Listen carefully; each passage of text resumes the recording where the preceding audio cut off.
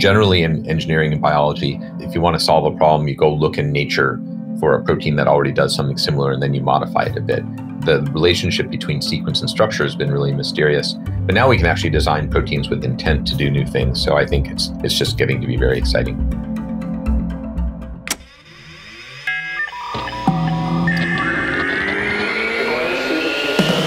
Hi, everyone. Welcome to Behind the Tech. I'm your host, Kevin Scott, Chief Technology Officer for Microsoft.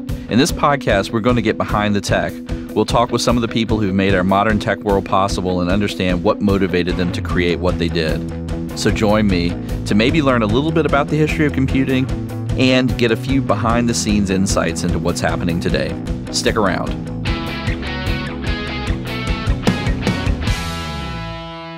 Hello and welcome to Behind the Tech. I'm Christina Warren, Senior Cloud Advocate at Microsoft. And I'm Kevin Scott. Our guest on the show today is Dr. David Baker. Dr. Baker is a professor of biochemistry and the director of the Institute for Protein Design at the University of Washington. His research group is focused on the design of macromolecular structures and functions. Yeah, I, I really do think that Dr. Baker is doing some of the most interesting work in the world right now. I for sure, like, I mean, with without question, I would be choosing to study computational biology if I were a graduate student again today. It, it, it's just so fascinating what he's doing. And I can't wait to hear him talk about what he's doing and to hear the two of you interact. So let's chat with Dr. Baker.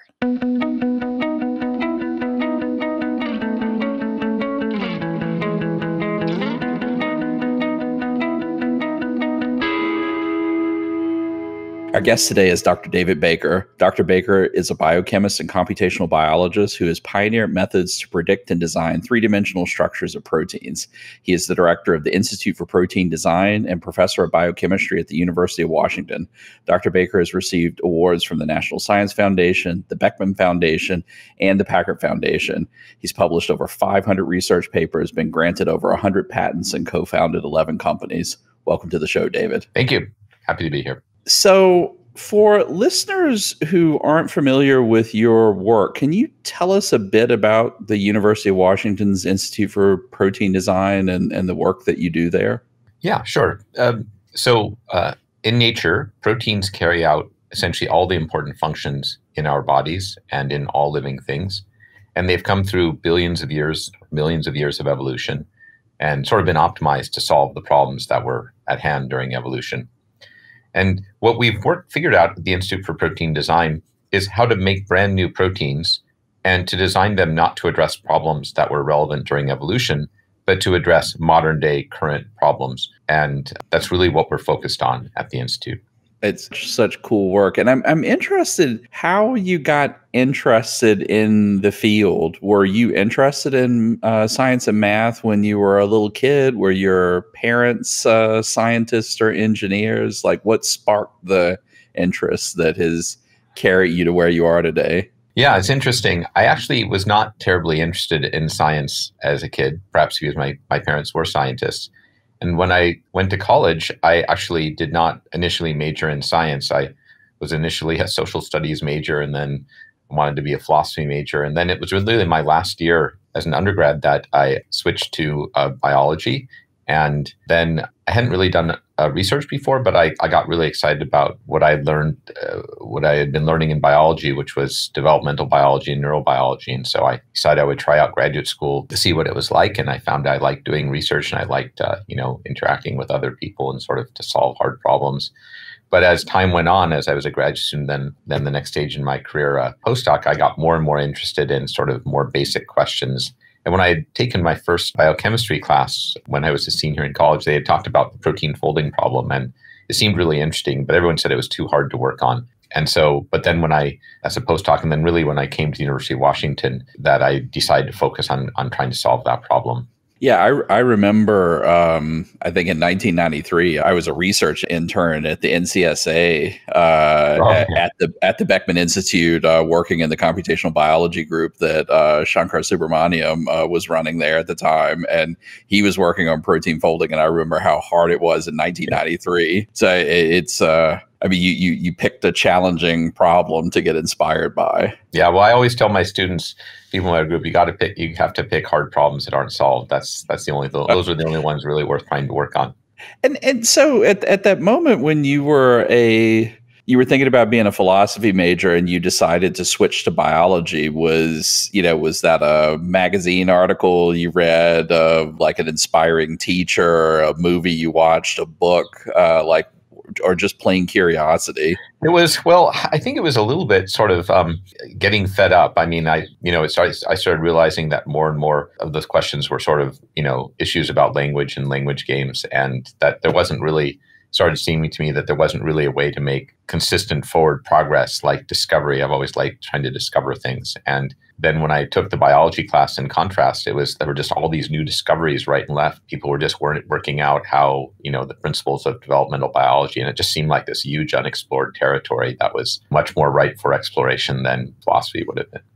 So you made the switch and you went to graduate school at Berkeley and uh, and UC San Francisco. And were how important was the computational part of biology when you were in grad school? Like, did you have to learn not just biology, but like a little bit about computer science, or uh, you know, wh- while you were a student, or did you have to learn that stuff later? Oh, yeah. Well, so I was a graduate student in the lab of, of Randy Schekman, who worked on sort of cell biology, how proteins get moved, sorted around in cells. And at that time, well, I was famous and outspoken for ridiculing anyone who sat at a computer because um, you know what what people use computers for. They was pretty rudimentary. You know, it was kind of word processing and you know you could you could waste time on computers the same way you can waste time on them now so i i did not do any computer programming and really my major my major interaction with computers like i said was to ridicule anyone who touched one so I, you know in, in, a little while I, I really do want to get into like what's changed between uh, then and now because you know I, I, I think we'll talk about soon how much of the work that you're doing uh, happens by influence of some sort of digital technology. Uh, it. It's still, I mean, like, still the the biology is what's driving, but uh, but computers play a big role, right? Yeah, absolutely. I mean, yeah, we're we're probably one of the biggest users of computers in all of academia. So yeah, which which is so cool. But so, um, what did things look like after you uh, after you graduated? Like, what did uh, what were you working on, and like, what did that stage of your well, career look see. like? At the end of my PhD, I, I sort of discovered how to recreate in a test tube a very complicated biological processes, the ones that were involved in in sorting these proteins to where they need to go in cells. And it seemed to me it was going to be a very long, complicated process to sort of purify all the proteins out and figure out their mechanisms. And I had been getting interested in sort of more basic questions about, you know, the structures of proteins, which I really didn't know much about. And so then when I, for my postdoc, um, I went to uh, David Agard's lab at UCSF, and he studied um, uh, structural biology and protein folding. And the first day when I went in, there was this computer terminal on my desk, and I asked, "What was that for?" And he said, "It's for computing." So then I had to kind of learn what that was. So that was one of the things I did. But I do have another sort of funny story about that time, which is that whole area of the building was really devoted to crystal structure determination, determining the, the atomic coordinates of proteins. So one of the first days I was there, I went into the room where everyone was sitting at their workstations trying to trace a protein chain through an electron density map. And so I said, "Oh, can I try?" So I they said, "Sure." So I sat down one of the screens and tried to trace the chain through. And I remembered then that I have horrible 3D visualization capabilities. I was totally incapable of doing it. So everyone in the room turned to me and said, David, shouldn't you have checked out whether you're any good at this stuff before you went into structural biology? That's uh, that, that is funny. So maybe you could explain to the listeners a little bit about uh, what exactly that looks like. So, like, you get a protein, you try to crystallize it. Uh, like at the time, you were shining a bunch of X-rays through it and sort of looking at the diffraction patterns of. I mean, like, I'm, I'm probably describing. That's right. No, you're absolutely right. Um, but but so like that that's just an incredible amount of work just to figure out what uh, what a protein looks like when it folds itself up, right? Yeah, yeah, it's a lot of work and it's very difficult too because you have to coax the proteins to crystallize. And I don't really, I don't think I. This is probably would be uh, it's probably not exactly how it was, but at some point around there, I decided I really wanted to learn how to predict protein structure from sequence so that you wouldn't have to do all this crystallography and chain tracing and all this stuff. But yeah, and, and so, so yeah. So, so like talk talk about that a little bit. Like it's sort of a big leap, I, I guess, from the, this idea that you're using a bunch of scientific tools in the physical world to try to spy into the world of biology, much of which we can't see at all. Um, you know, at, at, this molecular level that you're, you know, that you're working at to trying to go from the sequence of amino acids and say, like, if I understand the sequence of acids, uh, like what what is this thing going to look like, and what a protein looks like dictates a lot of what its function is in the in an organism. Correct? Yeah, you're absolutely right. There couldn't be anything more different than the two processes which have the same end goal, which is each protein, each gene in our genome encodes a unique protein that carries out a unique function. And it does so because the DNA sequence for, in the gene encodes a particular sequence of amino acids, which then folds up into a unique three dimensional structure. So it had been known since the 60s that the amino acid sequence of a protein determines its precise three dimensional structure. But like you said, the way that people actually have been figuring out what the three dimensional structures are, are is not reasoning from the amino acid sequence, but instead building hundreds of million dollar equipment and X ray beams and all this complicated stuff um, to try and work out what the coordinates of the atom, where the atoms are. But all the information we know is in the amino acid sequence. And so then when I moved to the University of Washington, that was really the problem that I decided to focus on, like to, to really look at the simplest possible cases of protein folding and understand how they work and do that both with experiments to try and understand what the steps, what, what the process, the key, key aspects of the process were and what the determinants of protein folding were. And then on the computer to try and develop methods for actually going straight from the sequence to the structure.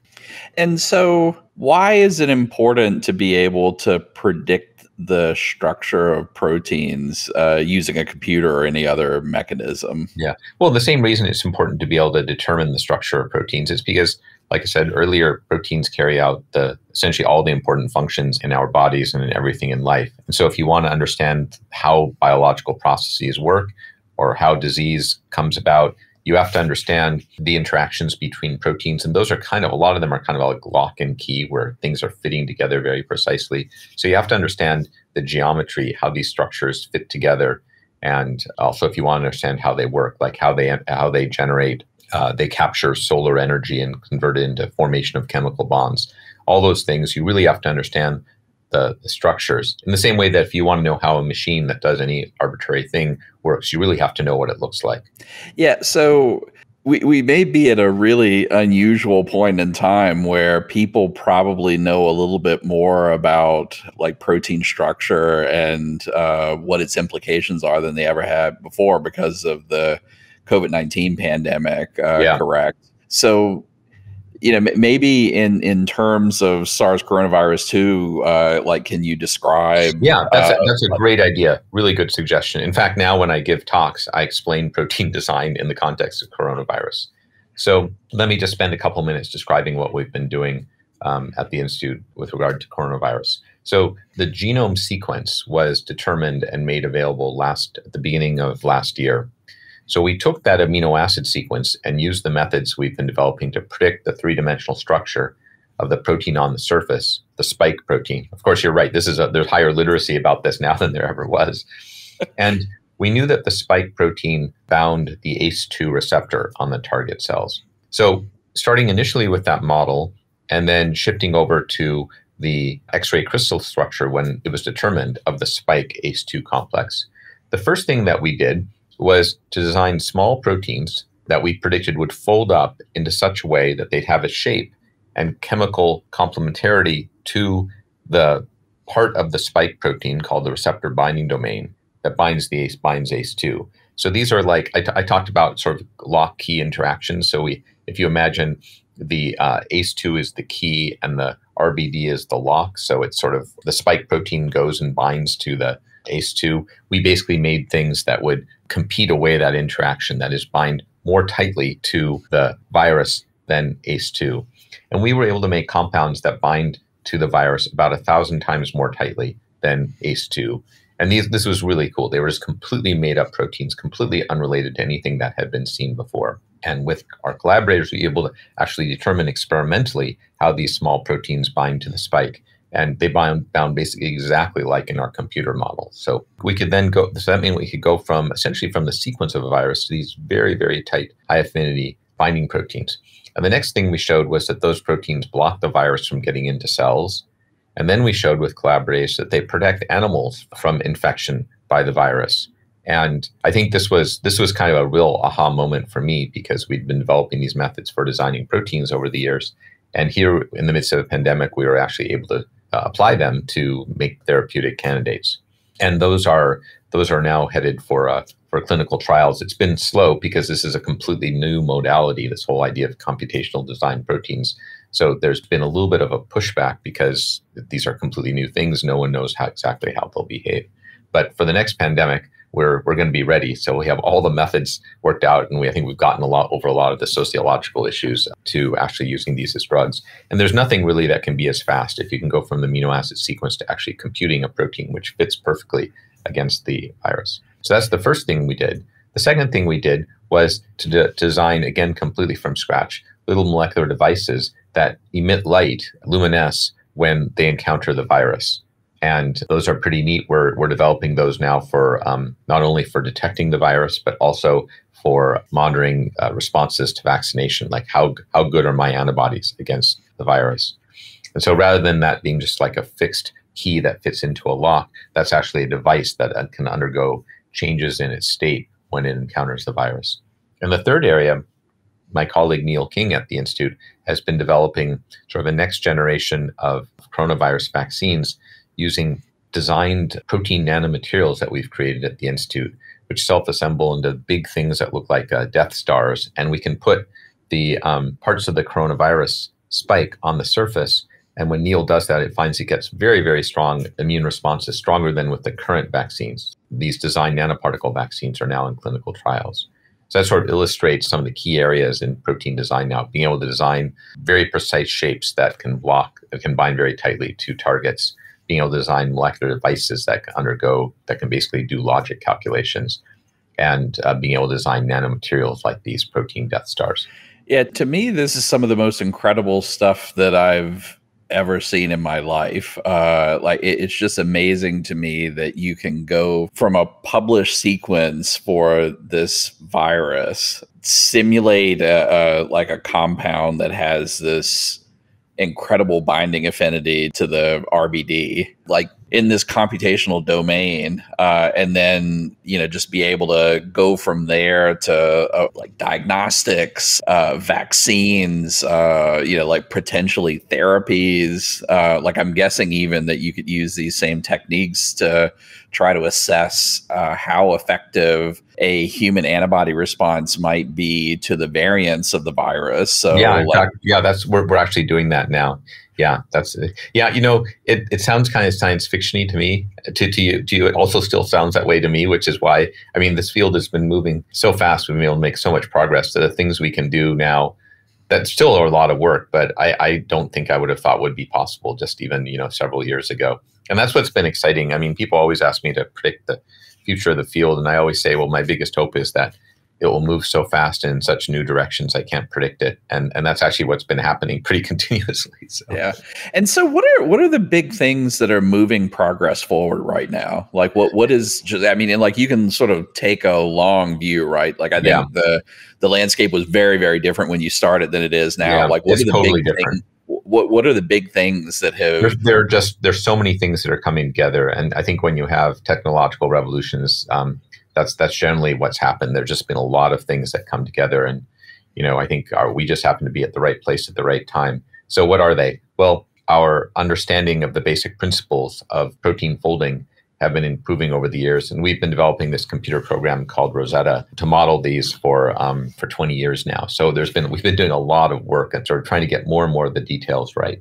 Second is uh, computing power. These things are, despite my ridiculing people as a graduate student, these calculations now are these these systems are really complicated and the basic principles that proteins fold to their lowest energy states. So if you want to design a sequence that folds to a new structure, then um, you have to do you have to search through this huge landscape, and it's very time consuming. So the fact that computers have just gotten more and more powerful continuously has really opened up, and we couldn't have not have done what we did for coronavirus in that amount of time with computing even of 10 or 15 years ago.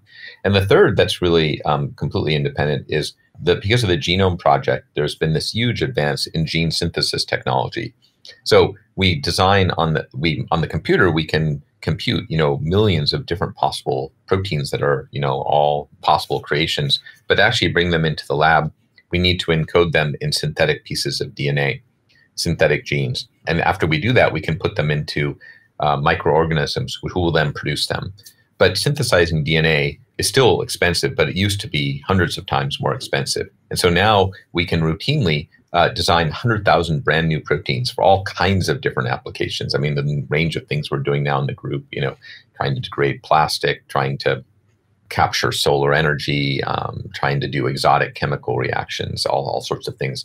You know, this just would not have been possible again with the technology of 15 years ago. So the, being able to manufacture DNA very rapidly and cheaply is really enabling us to move forward quickly. And these things all go together because since we can compute, since we understand the principles, we can compute very large numbers of designs. Because we can manufacture so many genes, we can then bring them all to life. And then we can do measurements to see which ones work and which ones don't. And then we can fold that back in to improve the methods. And that brings up the fourth thing that's coming in, which is deep learning. And you know, deep learning has just advanced by you know in the last ten years has just been, been incredibly has, has advanced as fast as the as the other areas, if not faster. And so now we're complementing the Rosetta picture folding, which is sort of this physical model where you have this protein chain folding up, with more of a deep learning approach, which is basically looking for recurring patterns and relating sequences to structures using those. And that's turning out to be very, very powerful. We can also use machine learning to try and interpret, to basically relate all this data that we're collecting to improving the computational models. And the fifth thing that's happening is that for the first time, these de novo design proteins are being developed as drugs. So there were probably four or five different proteins that we've designed, which will be in clinical trials this year. And so it's we're kind of at this inflection point in all these different areas. And so, you know, we don't really know how they'll turn out, but if, if one or two of them, you know, actually work pretty well, then you can imagine that I mean, we'll have de-risked this whole kind of platform. And I think that the thing is that the way engineering and biology has worked up until now is not intentional in this way. You, you, if you want to make a drug that binds to something, you either just screen a huge random library of compounds, or you try and coax an animal to make an antibody against it. There's no uh, generally in engineering and biology, if you want to solve a problem, you go look in nature for a protein that already does something similar, and then you modify it a bit the relationship between sequence and structure has been really mysterious. But now we can actually design proteins with intent to do new things. So I think it's it's just getting to be very exciting. There's so much that you you just said that I, I find fascinating, and I want to follow up on. But like one of the things that, as a computer scientist, that wasn't super obvious to me um, as I started diving deeper into biosciences is the extent to which you are we're, we're now at this point where you can actually use uh, biological machinery to go do work. So like it, what what you just described a minute ago is you want to synthesize a protein, but you don't synthesize the protein by like having some 3D printer that just lays out a bunch of amino acids. Like you program a little piece of genetic material to use the cellular mechanisms that turn DNA into into the protein that you want. And like that's sort of like that's just fascinating to me that like we understand enough about some of the basic biological machinery that you can leverage that to do some of the work for you. Yeah, you know, I left out there's a sixth thing I should have added to my list, which is exactly what you're saying. The whole recombinant DNA protein expression thing, our advances understanding basic biology, which we play a lot of we use biology right and left when we're when we're making these proteins and then we're screening them for activity. So you're absolutely right. That's another thing. It's like all these different technologies have come together. Yeah, and so I'm you know, one of the things that you uh, you know that you described is the the end state of this is uh, de novo drugs, uh, like being able to design therapies for diseases like COVID 19 and like in the limit, like what you would be able to do, uh, what you would like to be able to do. You know, for cancer therapies, for instance, is you would like to be able to look at like the very specific yeah. uh, cancer mutation that you have, uh, like making someone ill, and be able to custom tailor uh, a therapy to like the very particular illness uh, that you have. Uh, and in order to like, there's sort of two axes that I think are interesting. Like one is upper respiratory viruses are probably a little bit better understood than cancers. Uh, but like the trick with them is like you need to go very fast. Uh, so you need to go from new virus to you know therapeutic for it to drug that you can start delivering uh, and like the amount of time that that takes yeah. uh, dictates like how bad uh, you know a, a public health crisis you're going to have for custom tailoring a therapy to an individual like what you're trying to drive down is cost. Uh, so like we we have some of these therapies right now but it may legitimately cost a million dollars uh, to synthesize the treatment uh, just because it's very complicated and you know you you have five people who have the sickness a year. So like do you see both of those things getting better? So like time to you know deliver a therapy or like the cost of delivering a therapy are those both getting better? Or yeah i think um, there's also um, the precision of the therapy. So you brought up a, a, number of really good points but one of the issues with current protein drugs which is why they're so expensive is they're antibodies they're very complicated proteins. Antibodies are what we make to defend ourselves against disease. And so naturally in this sort of spirit of sort of emulating what's in nature when pharmaceutical companies want to solve a problem now, they try and make a new antibody. And then that's the drug. The problem with that is that antibodies are very expensive to manufacture, and so that contributes to the high cost of these small, these proteins that we design. In contrast, can be can be manufactured for a hundredfold lower cost. They can be made in bacteria, not in complicated mammalian cells, which are much more sensitive and much more difficult to grow. As far as precision goes, antibodies, the way they work is they're kind of blunt instruments. They hone in on a target. They're they're basically just they're like the coronavirus binder I described. They just bind. We can with design protein, we can actually design uh, logic systems that actually can go into the body and uh, pick out cells that have combinations of proteins on their surfaces that are indicative of disease. Because in some cancers, there isn't really a single distinguishing mark. There's a number of things. There are some things that are higher and some things that are lower in abundance than they would be in normal cells. And you need to be able to um, resolve those differences. And so you need more sophisticated types of uh, more sophisticated drug, one that, like I said, can sort of do logic calculations in the body to really approach that. And in terms of time, you know, we're not there yet, but since everything's going on in the computer, then in principle, the, the reaction time should be much faster, say to a new pandemic, than it is if you have to. So with the antibodies, the antibody therapies for COVID 19, they weren't designed on the computer or designed by anybody. Instead, there was a lot of searching after and in, in the bodies of people who had been infected with the virus or animals uh, for antibodies that happened to bind to the virus and really be effective at blocking it. And it's pretty rare that you find those antibodies. So if you can design things by intent, I mean, it's kind of like the way that bio- biological drug discovery and engineering has worked. It's sort of like you're trying to build a building, you keep throwing a pile, of, you know, bricks into a pile, and you hope it assembles into a building. Well, it's much better if you have if you understand the principles of construction and can just build it. So, so I think I think the future will be very bright. Yeah, and um, I'm just always reminded how complicated these biological systems are. Like yeah. things are very rarely as neat, uh, you know, as you as like a computer scientist or a mechanical engineer uh, have. Like you, you you think you know like I, I, will say for myself as a computer scientist like i often think that i'm dealing with complicated systems uh, but compared to biology like our artificially engineered uh, digital systems that we're building are like nowhere even remotely as complicated as a biological system. yeah one of the things is is uh, you know I think we've all looked at these vaccines is you you have two types of vaccines now that are prevalent. You have sort of the mRNA vaccines that we are very excited about, and you have things that are look more like classical vaccines. So they have a, they use of uh, like something like an adenovirus uh, to carry the the spike protein into the body to try to produce an immune response. But like one of the funky things about adenoviruses, right, is uh, like if you already have antibodies for the adenovirus itself, like the antibodies may swarm in and and kill the vaccine yep. before it can produce uh, like the, the new immune response. So I, I mean, I'm just sort of wondering.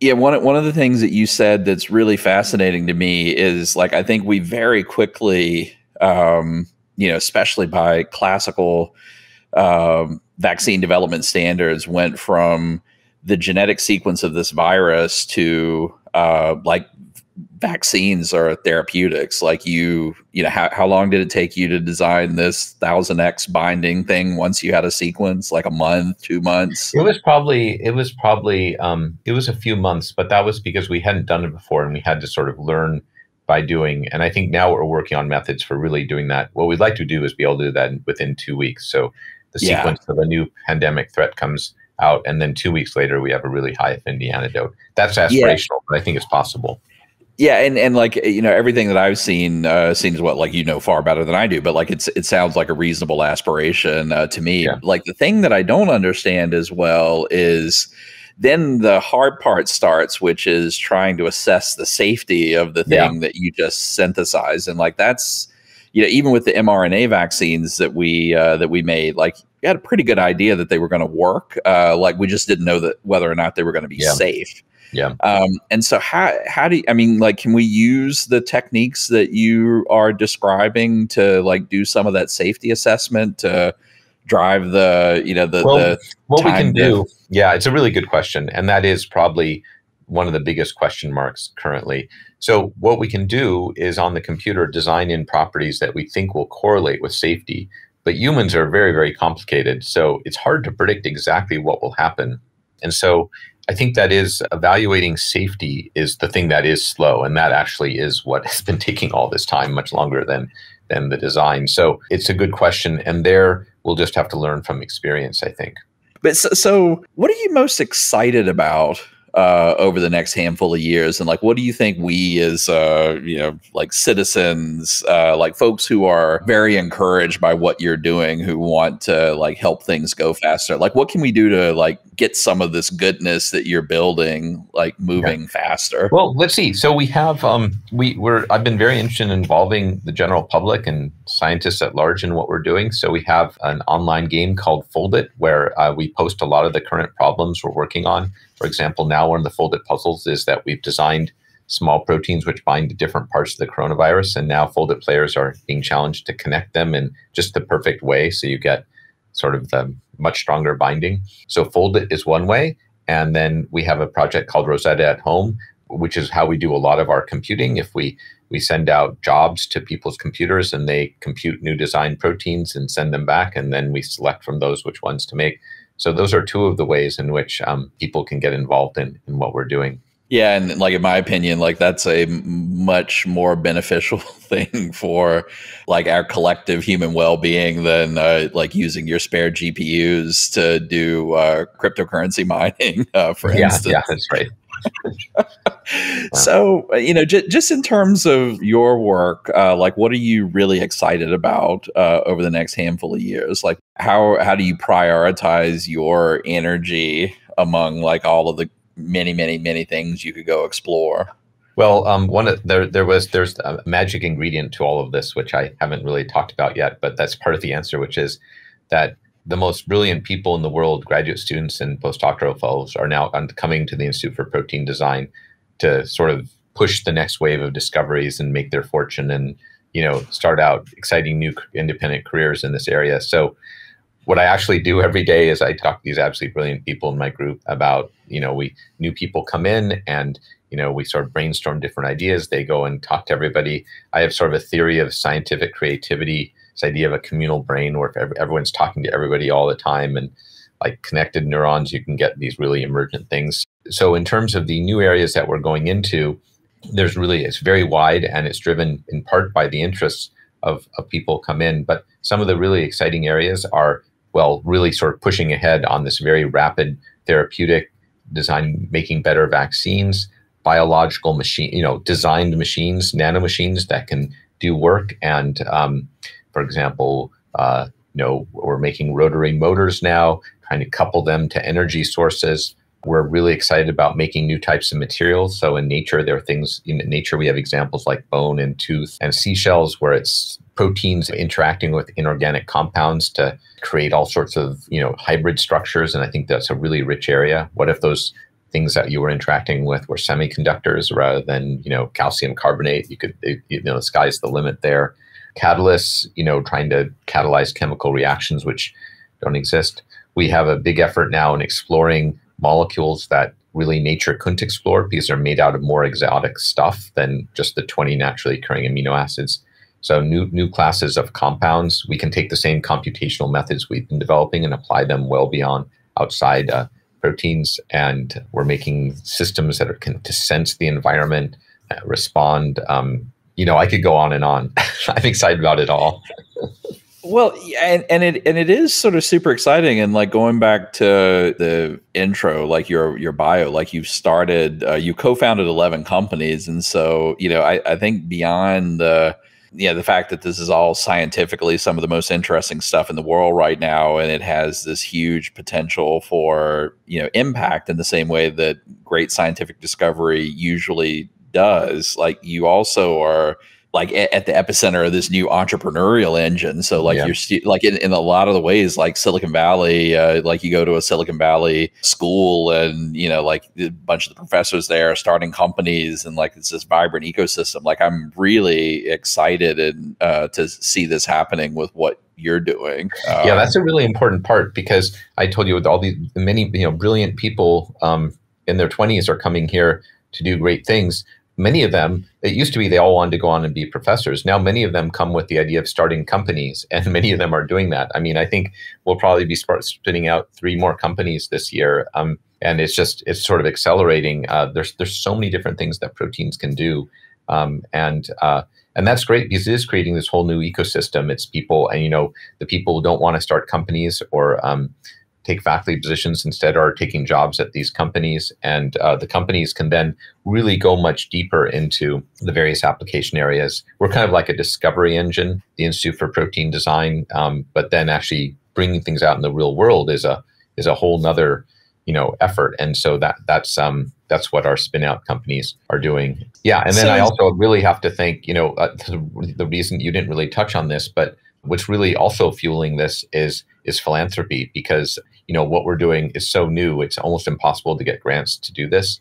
And so a lot of a, a large fraction of our work is supported by uh, by private philanthropy. People sort of see this as that this really is the you know a technological revolution and that pushing it forward rapidly will you know lead to all kinds of great new things for society. And we're really completely indebted to the people who are supporting our work yeah which i i, I wish we could channel more funding. Like if I had a magic policy wand to wave, like I would, you know, 10x, 100x the level of collective investment from philanthropy to government funding to corporate funding that uh, that was happening with this stuff. Uh, like the return on those investments, uh, both financially and in terms of you know goodness for society, like you know better healthcare for us all, for yeah. instance. Like I think it's just tremendous. Yeah. So, well, what's what would be your advice to students who are thinking about this as a career path? Like, what should they study? What should they learn? It's it seems very interdisciplinary to me. That you know, it's chemistry, biology, computer science, entrepreneurship. It's like just a bunch of things. I would say be a generalist. Is I mean that's what you can sort of see from my trajectory. um, there's not you know the tech. This field is changing so fast that even if you were an ex- expert in protein design today you know, five years from now, you would probably have to relearn everything. So, yeah, so I think getting it's exactly the same. There's biology, there's physics, there's computer science, there's some sociology. You know, we live in the world, and so I think it's important to, um, yeah, to to get a broad education. And you know, and actually, when I look back at, at my own education, is for a long time I thought that what what what the hell does social studies or philosophy have anything to do with what I do now? But actually, it's turned out to be very very useful in a lot of ways so anyway, so I think that's in terms of a broad education, and then you know to actually, if you actually want to start doing this kind of work, being uh, joining a research group where, um, in some capacity, where this where such work is going on, is really there's no substitute for that. Yeah.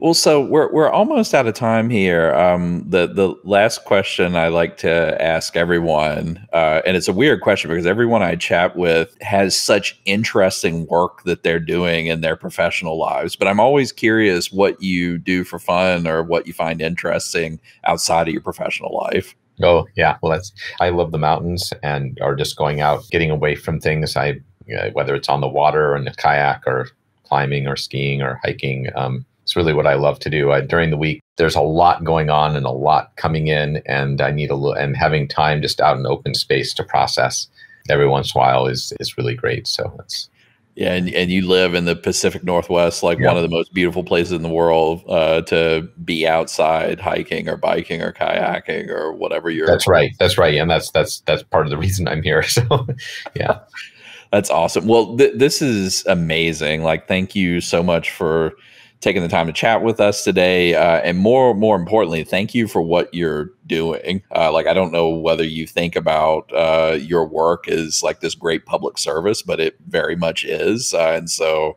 on behalf of many of us, like, I, I just want to express real appreciation and gratitude for uh, for the work that you and your students and your colleagues are doing. Well, thanks, Kevin. This was a lot of fun. And um, honestly, what I, am not a surfer, but I just feel like we're riding the wave and we want to, you know, the longer we can ride it, the better. Hope if we can make the world a better place. That's yeah. really the, what we're trying to do. So, yeah, this was a lot of fun. I enjoyed our conversation. Awesome. Uh, thank you so much.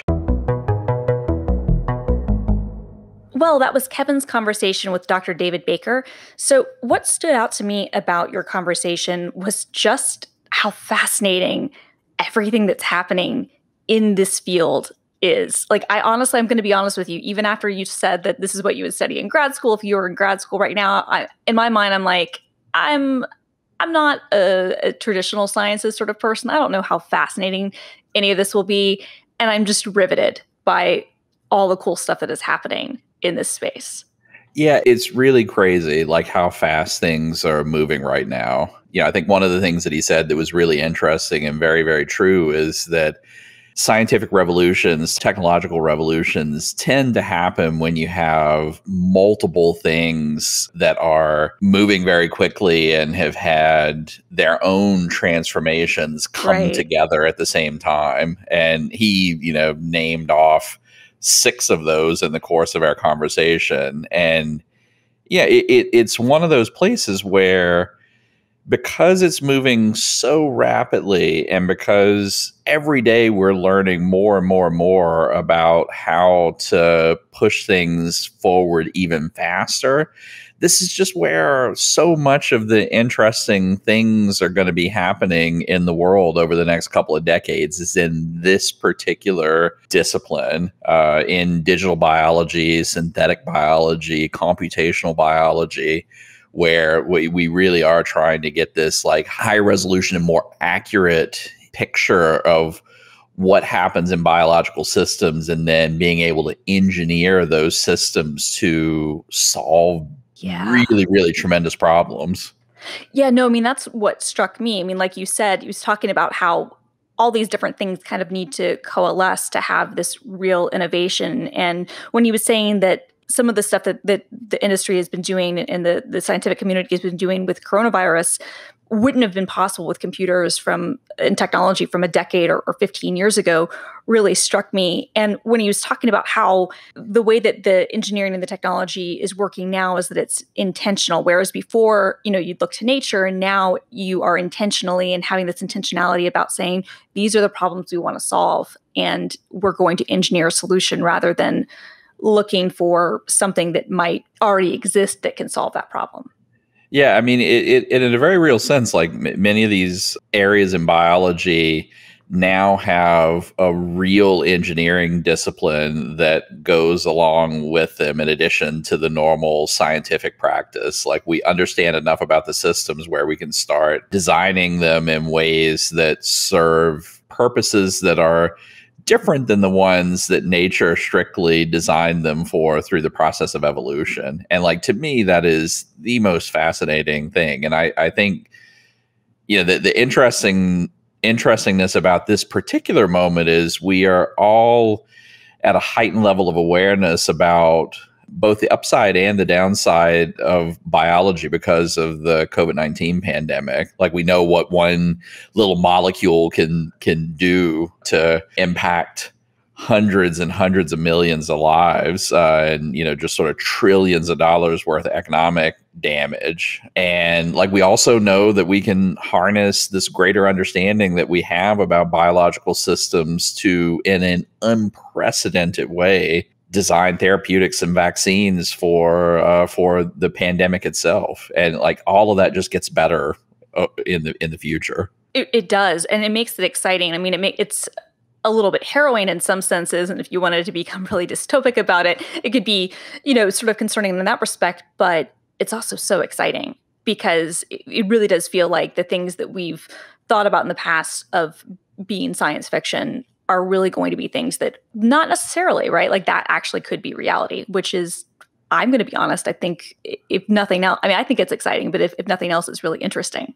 Yeah, I, I, I do think it's exciting. Uh, you know, I keep saying that I'm an optimist, even though yeah, my my wife would look at me and say I'm a grumpy, uh, grumpy old cynic. But I, I'm I'm very optimistic about the choices that we will make about how these tools and this greater scientific understanding of biology will get used. Like our and I, and I think you can absolutely see it with uh, you know with COVID nineteen. Um, like we we have just had our scientists and engineers come together in exactly the way that you would hope to like just pour time and energy and expertise into getting us past the misery of a global pandemic as quickly as possible. And and I think not just the science has been a shining light, but the way that we've come together as a species uh, has been a shining light for me. I agree. I agree. It's actually been pretty remarkable to see and to see what's happened in this relatively small period of time, all things considered. Anyway, this is a great conversation. I love hearing about what Dr. Baker is working on in his work. That's it for our show today. We are so grateful to Dr. Baker for joining us, and you know that we love hearing from our listeners. So contact us anytime at behindthetech at Microsoft.com. Thanks for listening. See you next time.